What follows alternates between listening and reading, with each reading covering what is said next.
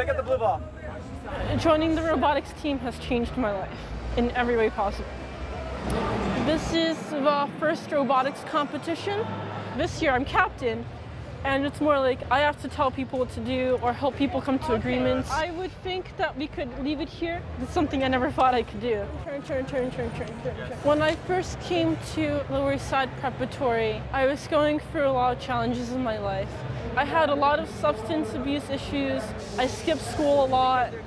When I joined the team, it was just about listening to other people and slowly it became more about working together. We have a knife on the. Because I started learning how to use power tools and working with dangerous equipment, I realized I can't show up without being sober and work with these things because I'm just putting myself at risk and other people at risk. And I made that choice and that's why I'm here now. I'm clean and I'm working harder than ever. Thank you. I want to go to college for mechanical engineering and I hope to continue to work with robotics.